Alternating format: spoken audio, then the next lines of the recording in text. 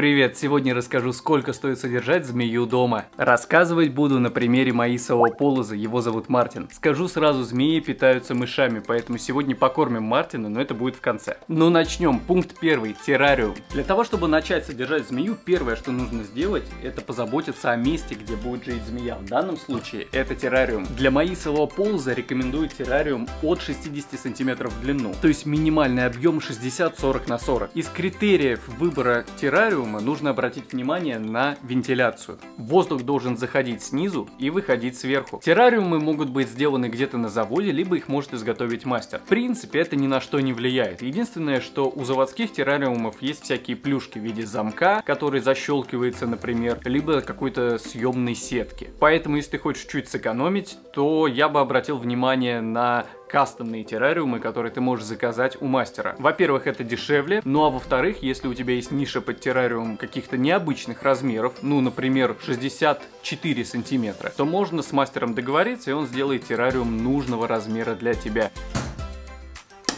Разберемся с ценой за террариум. Террариум вообще это основная трата при содержании рептилий. Фирменный террариум, как образец я взял фирму Exoterra, размером 60-45 на 30 будет стоить примерно 13 тысяч рублей. Может быть где-то дешевле. Ну а если мы будем заказывать у мастера из стекла кастомный террариум, то он нам обойдется примерно в 4,5-5 тысяч рублей. Второй пункт это обогрев.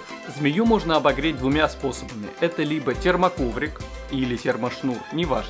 Либо лампа накаливания обычная, которая будет греть сверху и нагревать змею. Конкретно у маисового полоза в точке прогрева должно быть примерно 30 градусов. Для рептилий очень важна точка прогрева, и это то, чем нельзя пренебречь. Поскольку рептилии хладнокровные, температура их тела зависит от окружающей среды. А переварить пищу они смогут только если хорошо прогреют свое пузо. Средняя стоимость греющего коврика получается примерно 1200 рублей. Конечно, все зависит от размера этого коврика, но я рассмотрел стандартный средний размер с терморегулятором, чтобы ты мог регулировать температуру нагрева. То, что касается ламп накаливания, тут все очень просто. Светильник будет стоить примерно 400-500 рублей, ну и сама лампа накаливания, которую нужно будет со временем менять. Я использую зеркальные, так как у них более сконцентрированный луч и проще регулировать температуру. Следующим пунктом будет являться грунт. Тут важно понимать, какая у тебя змея, любит ли она влажность или нет. Если змея любит влажность, то грунт должен впитывать в себя влагу и ее удерживать. Идеальным Идеальным вариантом может быть кора дерева. Она достаточно безопасна, так как змея не сможет ее заглотить при охоте, а также хорошо удерживает влагу. Я решил рассмотреть кору и лиственницы, и получается, что полтора литра такого грунта стоит 250 рублей. На террариум 60-40 на 40 я бы брал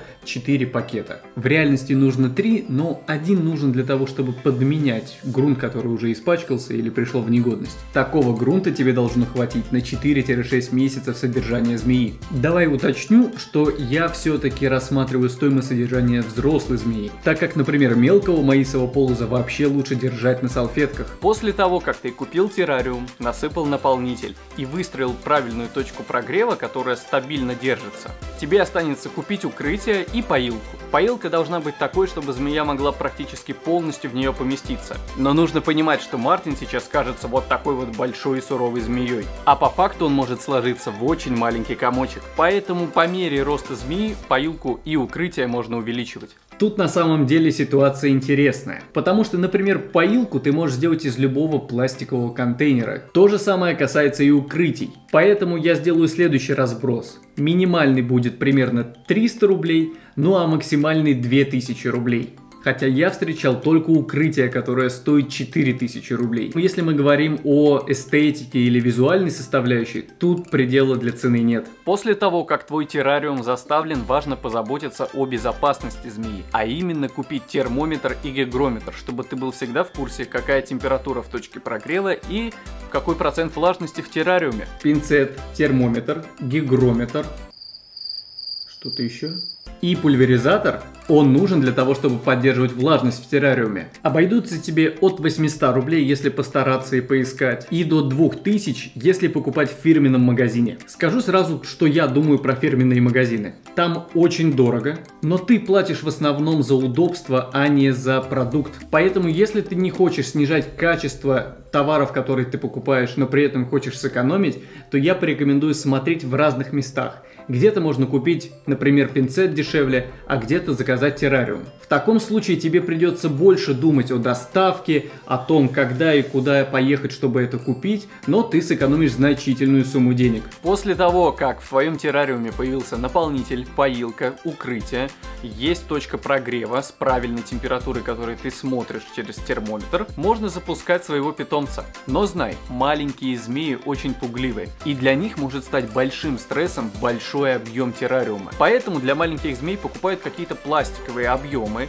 Это может быть либо контейнер из Икеи, но там нужно сделать правильную вентиляцию, либо фирменные пластиковые садки и содержат временно этих змей там. Также обязательно прочитай точные правила содержания конкретного вида, которого ты хочешь содержать. Если ты новичок, то я рекомендую начать с маисового полоза, потому что некоторым змеям, например, нужна ультрафиолетовая лампа, и у них есть потребность в солнце.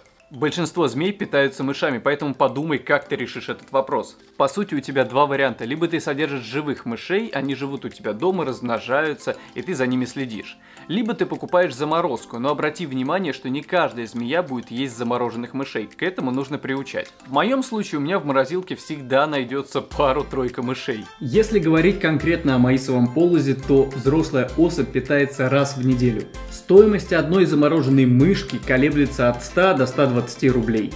Следовательно, примерно в месяц ты будешь тратить на корм 500 рублей. Согласись, это намного дешевле, чем кормить кота. Ну что, подведем итоги. Если покупать фирменный террариум, фирменную поилку, укрытие и не заморачиваться в плане экономии, то у меня получилось 19 700. Округляем, получаем 20 тысяч рублей. Почему ты мне мешаешь снимать? 20 тысяч рублей – это та сумма, которую ты потратишь за первый месяц содержания маисового полоза. Ну а если ты решил все-таки сэкономить, заказать кастомный террариум, поискать где-то подешевле пинцеты, пульверизаторы и так далее, то у меня получилось 8800. Как видишь, разница значительная, но это уже твой выбор экономить свое время или деньги. Идем кормить Мартина. Открываем морозилку, достаем мышку и кидаем ее размораживаться. Обычно я стараюсь кормить Мартина вне террариума на этой крышке. Берем мышь и пытаемся выманить змея. Но в этот раз Мартин был хитрее и он просто ее утащил. Обычно змеи начинают с головы, но в этот раз Мартин начал с другой стороны. Тут ты можешь увидеть, как тяжело ему дается эта мышь, но все же он ее заглотил. Кстати, отлично видно, как растягивается кожа змей для того, чтобы они могли заглатывать крупную добычу. Думаю, что сытый и довольный Мартин может теперь ползти и греть свое пузо. Ну а я опрыскал террариум и налил ему водички. Надеюсь, видео было полезным. Ставь лайк, подписывайся, пиши в комментариях, что бы ты хотел еще узнать. Спасибо, что досмотрел. Пока!